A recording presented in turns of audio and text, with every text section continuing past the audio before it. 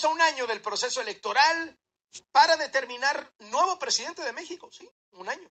Una sucesión muy adelantada que el propio López Obrador ha propiciado y aunque dice que no se mete, se mete todos los días y deja huellas de cómo está de lleno en la operación política para los suyos y para su partido. Hoy fue cuestionado por un reportero simpatizante de él sobre qué mensaje da un año de las elecciones presidenciales, ya sabe, estos reporteros de microondas que han sido encumbrados por López Obrador para que lleguen a las conferencias de prensa fundamentalmente a aplaudirlo. Escuche cómo López Obrador dice que no habla del tema, pero termina hablando.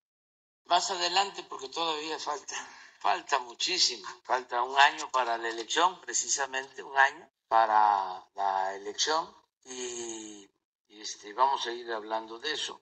Yo resumo en una frase, continuidad con cambio. Y si me piden más, si me exigen más y si me dicen, a ver, dígalo en lo que tarda parado en un solo pie, usted que no habla de corrido, dígalo, dígalo, dígalo, así. Mire, aquí, seguir desterrando la corrupción de México. Eso es. Ese es el secreto, esa es la clave. Acabar con la corrupción. Eso es lo que produce bienestar, eso es lo que produce la paz, eso es lo que produce la felicidad.